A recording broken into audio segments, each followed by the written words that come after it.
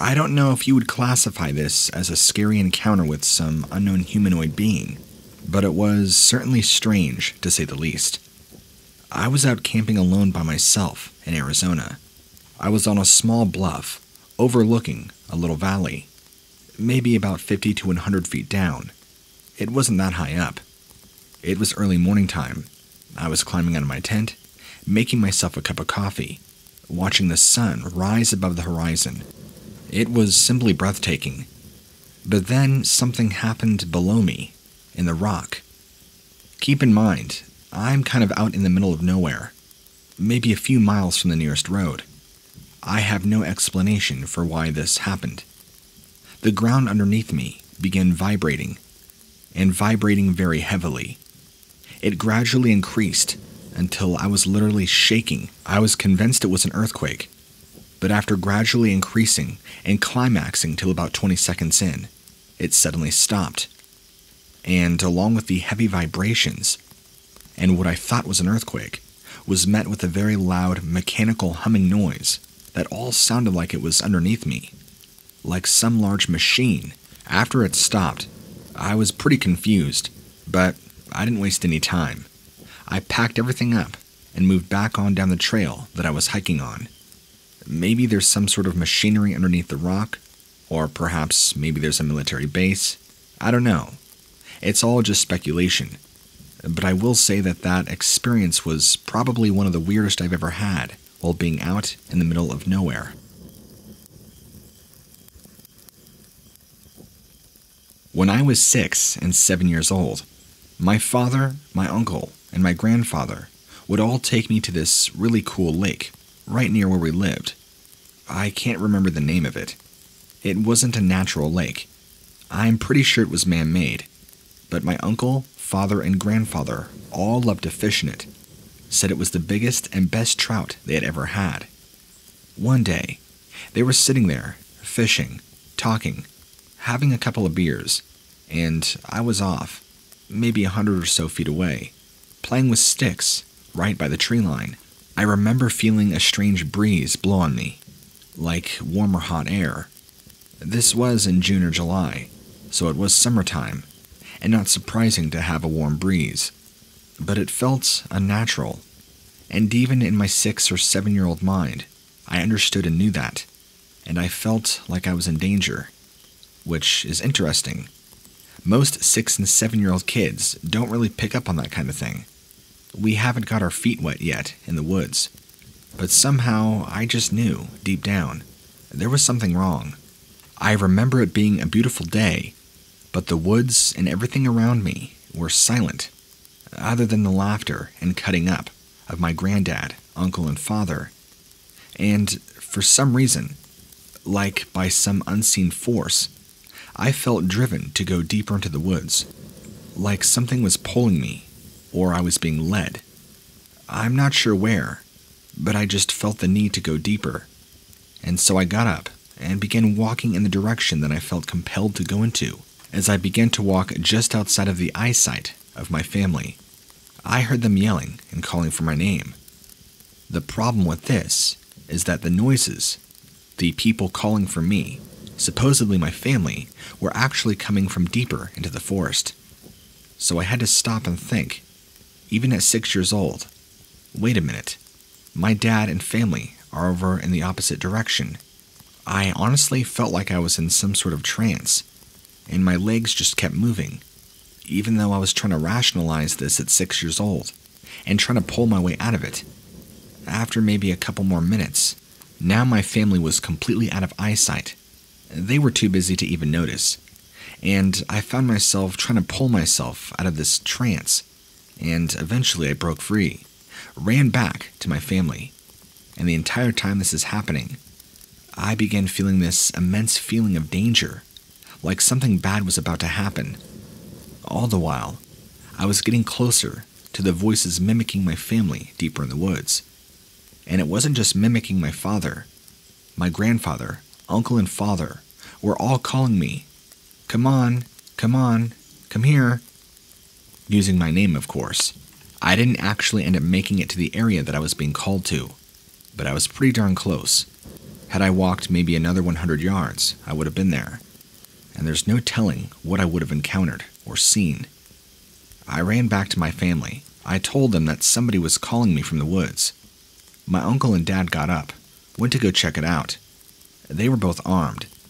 My grandfather sat with me next to the lake, told me all about stranger danger. And my uncle and dad came back, said they didn't hear nothing or see nothing. It was probably just the wind. The day resumed as normal, and as my life went on, I never really thought about that day much. But as I've gotten older and heard so many stories of skinwalkers or weird things going on in the woods, I can't help but think of this story that pops up in my mind. I had no idea that mimicking the voices of family members was even a thing until I discovered skinwalkers and beings like that. I can only really speculate that that's what was waiting for me. And after reading all the missing 411 books by David Paulides, I don't even want to know what it is that was going to grab me, assuming that's what was going to happen. I just wish my family would have took it more seriously. But I guess they did go out and look for me. I mean, what more could I ask for? So, I would really like your opinion on this. Do you think it could have been a skinwalker? Or maybe a Bigfoot? After reading a lot of the missing 411, maybe I could have been the next victim. We weren't close to any national parks. This was just a small wooded area, away from our rural community. Any answers you can provide, or any speculation, would be much appreciated. My cousins and I ended up renting out a cabin for the winter up here in the mountains. While it's always been a beautiful and serene experience, there was one winter where we had an incident that a lot of us just don't talk about. It's actually quite terrifying, and after listening to many of your videos, I realized that it can easily constitute as its own scary story. This was back in the winter of 2007, so it was me and my three other cousins, my parents, and extended family. We have a pretty large cabin that was built, so we can all sleep in it pretty comfortably. It has a huge wooden stove, and my family is always keeping a giant stack of wood around to keep it going 24 7. Temperatures around here can plummet very low, and we, of course, like to be warm, just like anybody else. So, one night, we're all sleeping, me and my cousins in the main living room area, or the lobby, if you call it that. On the side of the cabin is a large set of sliding glass doors. On the front of the cabin is a large wooden door. Both are attached to a large wooden deck that wraps around and has a staircase leading down to the ground.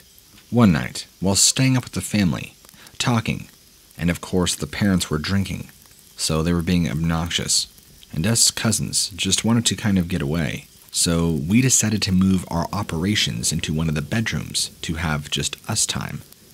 We were playing a very intense game of Monopoly, and it was getting pretty serious.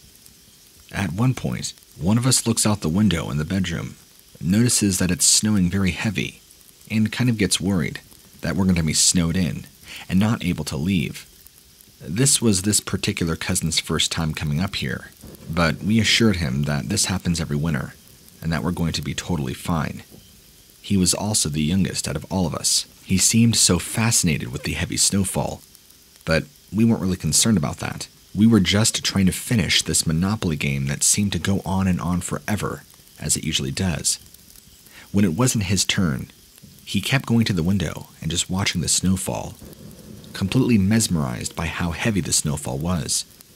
When, at one point, closer to later at night, he began freaking out, saying there's something coming towards the cabin. We kind of dismissed it, thinking, oh yeah, there's large black bears out here. We're not surprised. And then he's like, no, guys, it's running towards the cabin. A large black hairy man. So we all jump up and look out the window. Across from the cabin is a small little hill that dips down, and then dips back up on the other side. Running down the hill towards the direction of our cabin was what I swear was probably a Bigfoot. It was a man, covered in all black. We didn't see any faces, but it looked like a giant man running through the snow.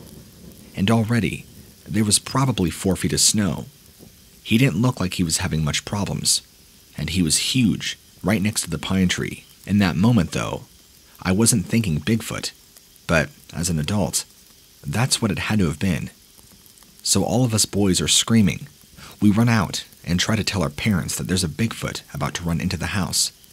They all just start laughing and joking, thinking we're just seeing things or making things up to try and distract them from drinking. So we all run to the window and look out. We don't see anything. And now all of our parents are telling us, come on, stop it. You guys are acting ridiculous. If this is your idea of a joke, it's not working. We tried convincing them of what we saw. They just wouldn't buy it. So we stood on the lookout, kept looking, but this large black man that we saw outside disappeared. We kept trying to dare each other to go outside and see if we could see him, but none of us were brave enough. And I think at one point or another, we finally fell asleep. Somehow, the next morning, we woke up pretty early, eager to go outside and see if we can find any tracks, but the snow had fallen so heavily over the night, there were virtually no tracks left. You could see very faint indents in the snow of where this thing came barreling down the hill from, and you could see the general direction that it took. It went right up against our cabin, actually, and even most horrifying, appeared right outside our parents' windows, like it was right underneath, looking in. Probably sometime in the middle of the night. This chilled us to the bone. We even went back in and tried convincing our parents, but again, they didn't believe it. They thought we had made the tracks up and simply would not listen. This large black shape seemed to be the hot topic between me and my cousins all day long. We'd go back and forth between playing, goofing off, and then talking about what this thing could be. One of us speculated that it was a big monster, while another speculated that it was some lost man trying to break into our place. We didn't know for sure. We were just 12, 13 year old kids, trying to come up with the best explanation we could to whatever this person or thing was. As it got to about dinner time that night, and we're all sitting around getting dinner and eating dinner, we hear the loudest scream any of us have ever heard. It stops everybody in their tracks, and everybody in the cabin looks out towards the back window where the scream came from, far off over the hill. We all said, What was that? And all of our parents, straight faced, looked at each other, looked at us. Nobody said a word. The rest of the dinner was pretty quiet, and I knew in that moment that they knew that wasn't just a bear, or a coyote, or an owl. That was from something none of us have ever heard before. And right before bed, probably maybe 8 or 9 this night, a few of our family members go out and gather some more wood from the outside shed. They both come back in and let us know that we're actually going to be heading home in the morning. Things are going to be cut a little short. There was hushed conversation between the adults. We all knew that they knew something was up, because this usually lasts for four to five days, and we'd only been here for two or three. There is no reason why we should be cutting our trip short. They acted so weird about it. Even now, I wonder what did they know that they never told us about, and why? Did they see something? Did they hear or encounter something? But when they came back in and announced it, nobody was asking any questions or objecting. It was like it was a done deal. Enough said. We're going to go with it. So, that night, everybody packed up their stuff, and we left the following morning. No questions asked. I still wonder why that's the only time we've ever gone up there, and have had such a short trip. It's never made sense to me. And since that winter trip, we've gone back up there a dozen times, easily. Have never experienced, saw, or heard anything like what we did since. We also don't ask about it. It's kind of like a don't ask, don't tell policy, I guess. But I can guarantee you that something happened up there that winter. Whatever it was, I'll probably never know.